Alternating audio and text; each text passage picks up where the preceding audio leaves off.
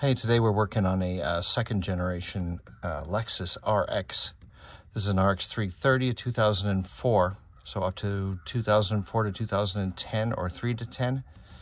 I think it's 4 to 10 will be basically the same. And I've got a burnt out marker light on this side. On the passenger side, there was burnt out on both sides.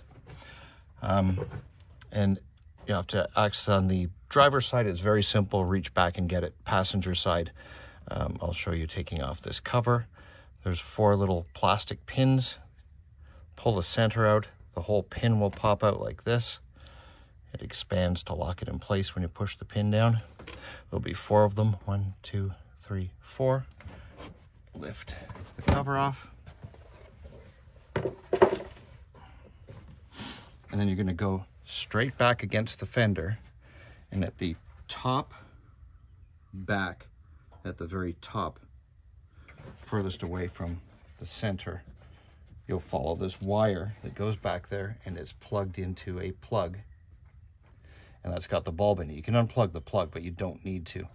So you're going to turn it same way you would turn to take a screw or bolt off, so counterclockwise. Oh, I gotta use the other hand counterclockwise and then pull it out. And I know the bulb's not in here because I checked. Oh, wrong one. That's the one below it. That's the turn signal bulb. When you don't have feeling in your fingers, sometimes you grab the wrong thing. There it is. It's the furthest one away from you. So turn counterclockwise and pull it out with the wire. Again, you can unclip it from here and pull this plug out and then pull the whole thing out, but you don't really need to. You can just pull the whole thing in one. Now there's no bulb in there. I'm gonna turn the lights on and we're gonna check a bulb to make sure it works.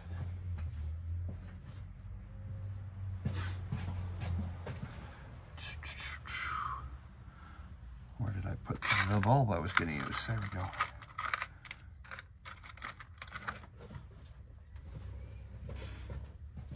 Simply plug it in and make sure it lights up. Ooh, I think we got a dead bulb.